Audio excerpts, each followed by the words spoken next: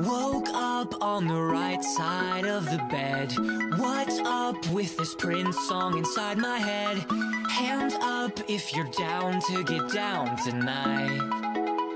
Cause it's always a good time. Slept in all my clothes like I didn't care.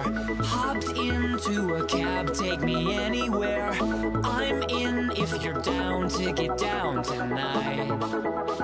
Cause it's always a good time. Good morning and good night. I wake up at the twilight. It's gonna be alright. Even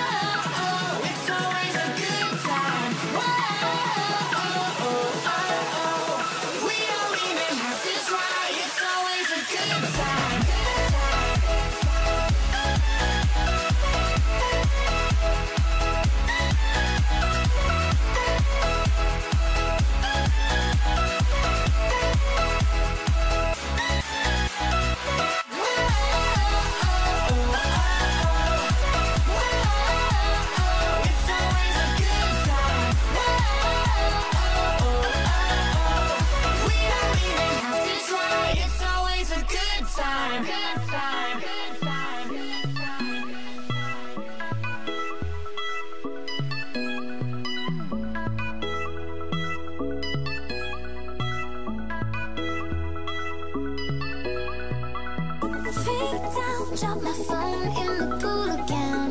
Checked out of my room, hit the ATM.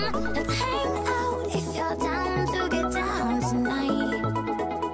Cause it's always a good time. Good morning and good night. I wake at the twilight. It's gonna be alright. We don't even have to try. It's always a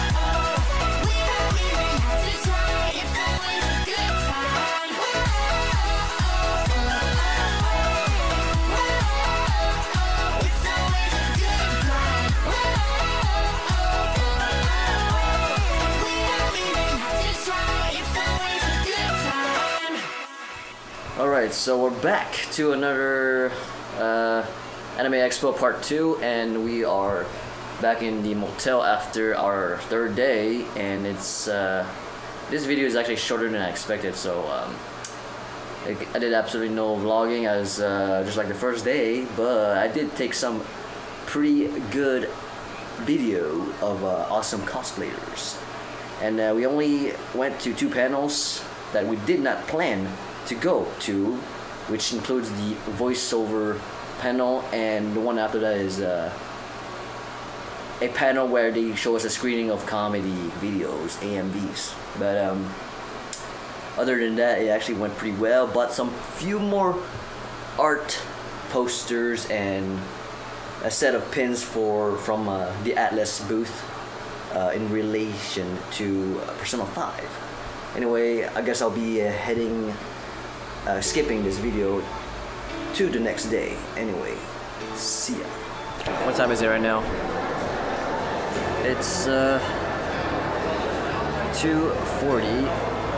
Should be able to re- be ready to wait for the line for the uh, ending ceremony because uh, who knows maybe there'll be a huge line but this is actually the last day so unfortunately but hopefully we can s- take a, a front row seat to the ending ceremony so till then I'll see you guys later This weekend was good. Yes. You guys, let's begin. Welcome everyone to the closing ceremonies of Anime Expo 2017. John,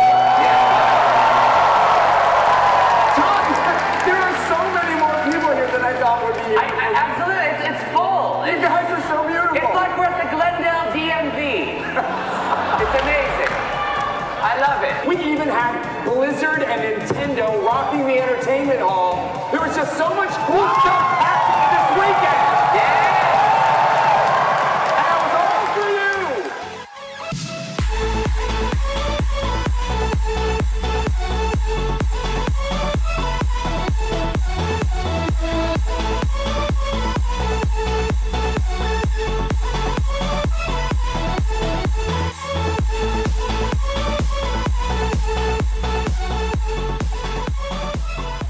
so Anime Expo is sadly over, but considering that we are in the US, we have decided to uh, go out tonight and celebrate the 4th of July with my old man and my brother.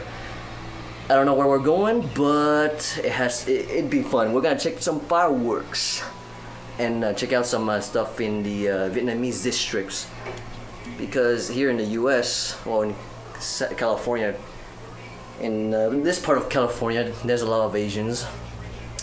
And yes, I am wearing a US tank top. Yes, I have betrayed my fellow Canadians and uh, converted into an American. Alright?